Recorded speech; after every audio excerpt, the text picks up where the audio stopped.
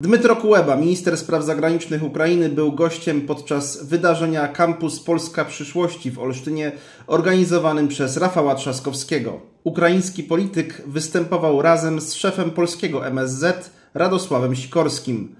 W pewnym momencie usłyszał od jednej z uczestniczek następujące pytanie. Kiedy Polska będzie mogła przeprowadzić e, e, ekshumację ofiar mordu wołyńskiego?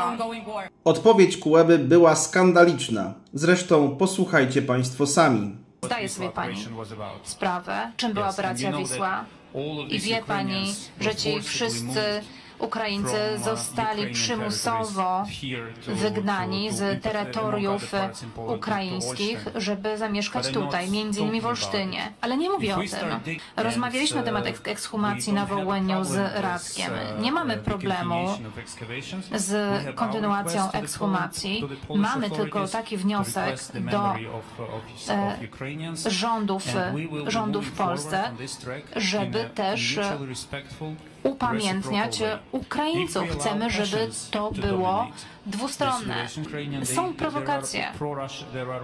Są prowokacje właśnie w obszarze historii, które są organizowane przez Rosję. Kuleba między innymi porównał ukraińskie ludobójstwo na Polakach i obywatelach II Rzeczpospolitej innej narodowości do operacji Wisła u źródeł której stało rozbicie band UPA terroryzujących polską ludność, walkę o prawdę historyczną, pamięć ofiar i godny ich pochówek, nazwał zaś prowokacjami organizowanymi przez Rosję.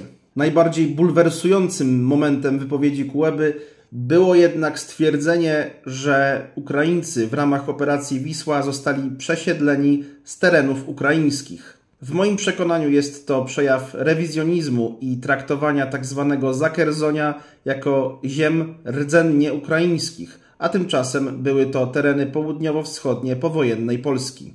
Dodatkowo bolesnym faktem jest aplauz ze strony publiczności na kampusie Polska Przyszłości oraz brak reakcji ze strony ministra Sikorskiego, który przysłuchiwał się tym słowom. Jako Stowarzyszenie Wspólnota i Pamięć nie godzimy się na zakłamywanie polskiej historii i relatywizowanie ukraińskiego ludobójstwa. Dlatego do ministra Radosława Sikorskiego złożyliśmy pismo, w którym oczekujemy odpowiedzi i reakcji na te skandaliczne słowa Kułeby. Więcej informacji na temat m.in. operacji Wisła znajdą Państwo w drugiej części książki Wołyń bez mitów kulisy ukraińskiego ludobójstwa na Polakach. Serdecznie polecam.